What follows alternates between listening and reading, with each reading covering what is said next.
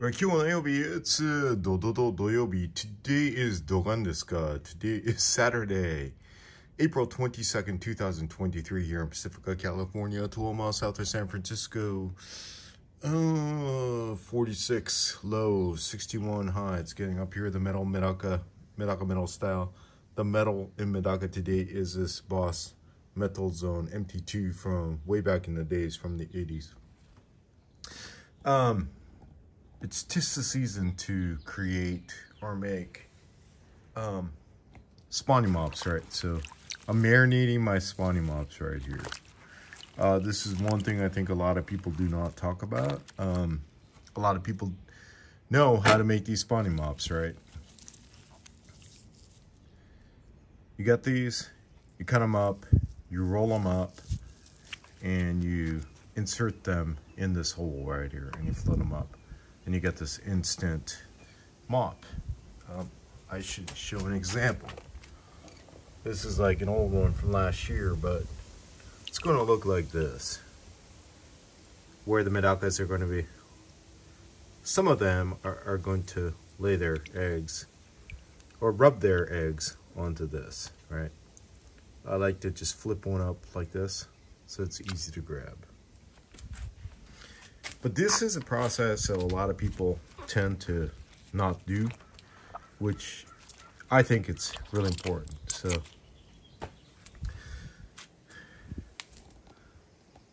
it's pretty warm over here. Let me take a real quick sip.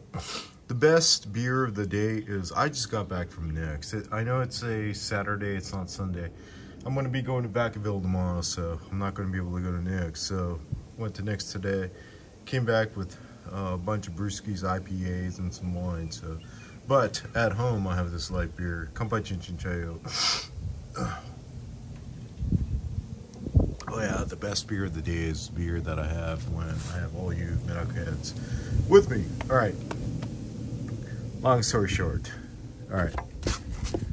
So making these spawning mops super simple. I stuff four of these. These are just those rags, right, that you use to clean dishes and all that stuff. Cut them up in a certain size. I put four of them in here so I don't have to make one at a time. Um, I have this knife right here. And I just chop, chop, chop. After that, flip this around I placed this. These are just as like a pool uh, noodle things. You get these for like two bucks. And you just start cutting. And then they end up into this marinating pool.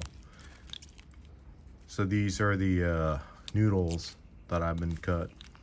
And these are the scrubs that I had been cut like octopus style. Eventually they're going to be rolled up like this and they're going to be inserted into the hole to create the spawning mop, right? If you want that look where, not the look, but like comes in handy.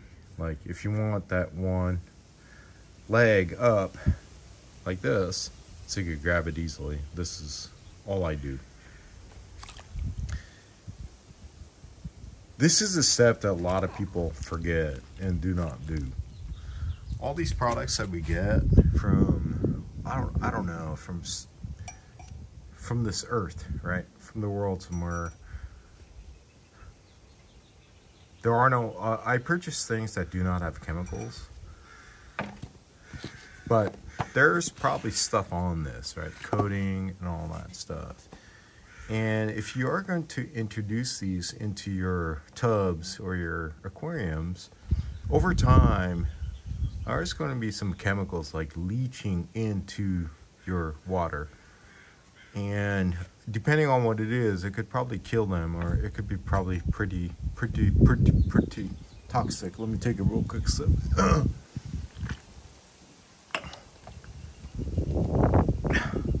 so what I do is I marinate them. Um, I just throw them in water once I cut, make these things or cut these things, cut these guys, I just marinated them in water and I leave them outside and let the sunshine do its natural thing. And uh, you will see like again i just did this right now so you won't see it but like over time you will see some like stuff floating on the top and um, long story short man this is a step that a lot of people skip um, just getting whatever that's in these human made products out, right? Letting the sun just like cleanse them.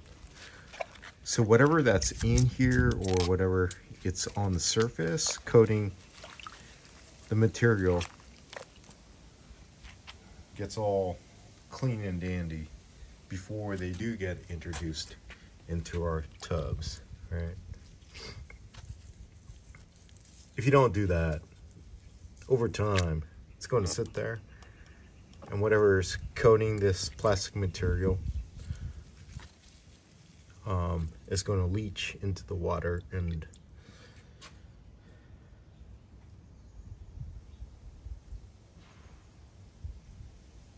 and possibly harm the fish so. That's one step that I don't think people have mentioned so I figure. Like, and this is for every single thing that I purchase that I put in tubs or aquariums. I make sure that I marinate these guys outside, or you could put like hot water, right? There are various ways to do all this stuff, but this is the way I do it, like natural style. I'll just leave these guys out in the sun for a while. And, uh, let the sun kill everything. After that, what I will do is I will remove these these and put them in a different tub rinse them out before I use these um, man-made products. So.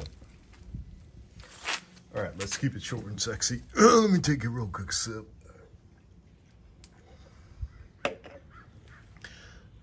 Oh yeah.